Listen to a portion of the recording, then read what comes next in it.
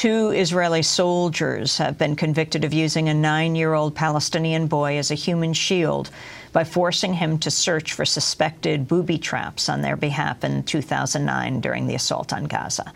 An attorney said the soldiers are being scapegoated by the Israeli military.